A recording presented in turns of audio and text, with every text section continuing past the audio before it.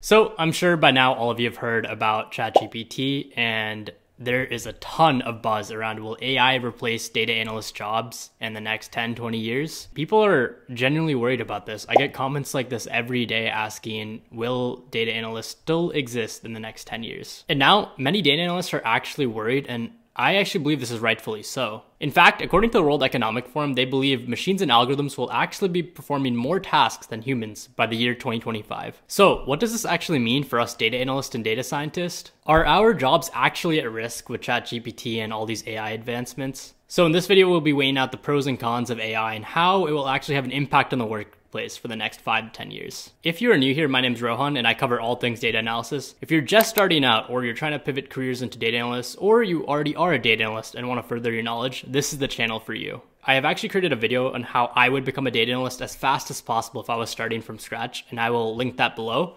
And I also have a community, a Discord group where people who are all interested in becoming data analysts can come together and work on projects, network, and meet new people, which I will also link below. So what exactly is AI? When we traditionally think of the term AI, we think about the sci-fi movies where we have robots taking over the world, and this is actually not the case. AI, in the simplest terms, is algorithms and machines trying to mimic human behavior and decision making. So what does this actually mean? It means that machines can do things that re normally require human intelligence. Some of these tasks can be understanding language, pattern recognition, and making predictions based on data and learning over time like us humans do. So I'm sure by now all of you have heard of ChatGPT. It is basically a language processor that uses NLP and machine learning to simulate human-like conversations People have been using this for all sorts of creative ideas. Some people have been using it to actually start a business for them, give them business ideas, how to actually run the business. And some other people have been using it for recipes or book recommendations, and limits are endless. But this is actually one small example of AI that exists today. Some other common applications of AI include ML, natural language processing,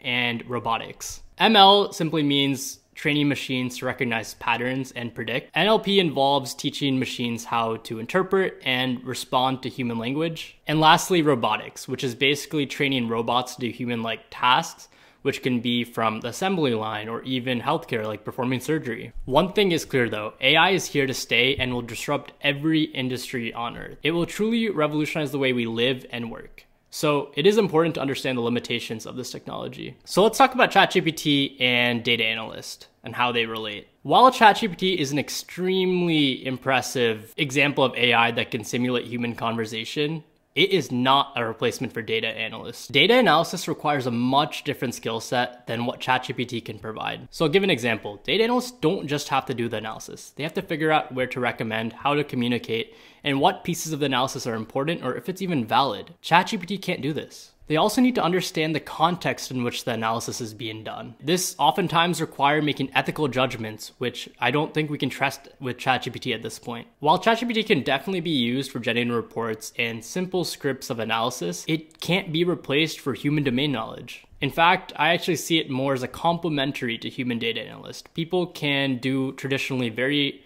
tedious task and just outsource the ChatGPT while focusing on what really matters. So I actually heard the story the other day, and this kind of relates into why ChatGPT won't replace humans. This PM goes up to my friend and says, Can you convert this file format for me? I actually tried to use ChatGPT, but it was not working. And when my friend looked at the script, it was totally wrong. My friend asked to see the prompt that they use in ChatGPT, and that too did not make sense. I think in order to derive value from ChatGPT, you need to understand the back end. You need to understand what to ask ChatGPT, which people without domain knowledge won't be able to do.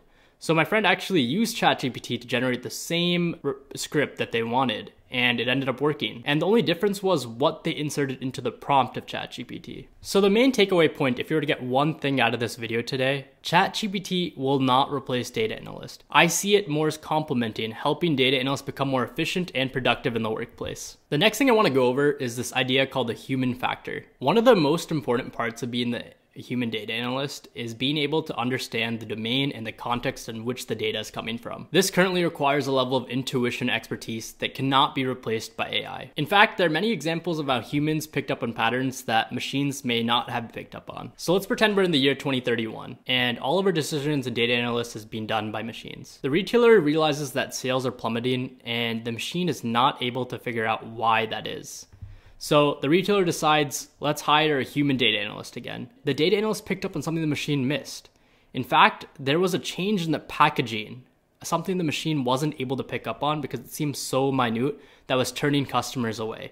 And right as soon as they fixed this, sales started to go up again. This may seem like an extremely small detail, but it is important to understand that there are details and there are things that machines cannot get at this point. Ultimately, the key to data analysis with AI is figuring out the right balance of human and AI interaction. By combining the strengths of both, we can achieve deeper insight, make more informed decisions, and create more effective strategies for success. Looking to the future, it is clear that the demand for data analysts will still continue to soar despite the advancements in AI. In fact, the Bureau of Labor projects that job growth for data analysts will increase by 16% from the year 2020 to 2030. This is mainly due to the fact that humans bring a unique set of skills that cannot be replicated by any machine. As we saw in the major retail example, a human may pick up on something a machine may have missed. At the same time, however, we don't know how far AI will advance within the next 20, 30 years. Jobs are constantly changing. One of the most popular jobs right now is Uber. We didn't know Uber would even exist back in the 2000s. So as jobs leave, there are new jobs that are created. But for now, I don't think data analysts are going anywhere. I think there should be a big focus on how you can use use machines and leverage machines to be more productive at work